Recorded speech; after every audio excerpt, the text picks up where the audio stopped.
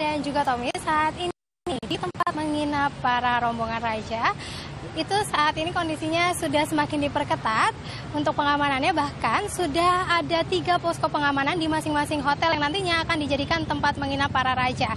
Ketiga hotel ini semuanya berada di kawasan Mega Kuningan, Jakarta Selatan, yaitu Hotel Ritz-Carlton, JW Marriott, dan tempat saya berdiri saat ini yaitu di Hotel Raffles. Raja sendiri nantinya akan menginap di Hotel Raffles ini dengan kamar seharga 133 juta rupiah per malamnya. Untuk pengamanan bisa dilihat di belakang saya bahwa saat ini sudah steril, tidak sembarang orang bisa memasuki kawasan Hotel uh, Raffles sendiri. Bahkan untuk memasuki hotel ini uh, diperketat pengamanannya ataupun pemeriksaannya bagi siapa pun yang hendak masuk. Dan pengamanan ini semakin ketat di dalam hotel, terutama di depan kamar raja dan menurut informasi yang saya dapatkan bahwa pengamanannya ini melibatkan pihak kepolisian dan juga TNI bersenjata lengkap.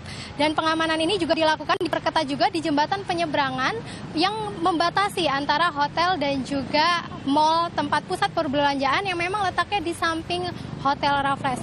Walaupun pengamanan super ketat, cukup ketat sekali dan hotel sendiri sudah ditutup untuk umum atau disterilkan sejak minggu lalu karena seluruh kamarnya ini sudah ditempati untuk rombongan raja. Namun untuk pusat pembelajaran sendiri ini situasinya masih normal dan aktivitasnya juga tetap seperti biasa. Rencananya Raja Salman dan juga rombongannya akan tiba di hotel pada pukul 5 sore nanti dari Istana Bogor.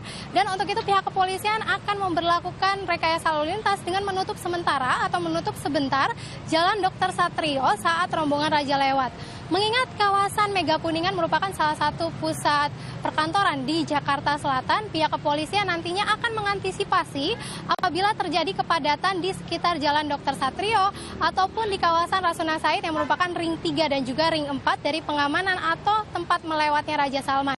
Nantinya akan diberlakukan sistem rekayasa lalu lintas dengan tutup jalan ataupun pengalihan arus lalu lintas secara situasional. Kembali ke Tommy dan juga Rika.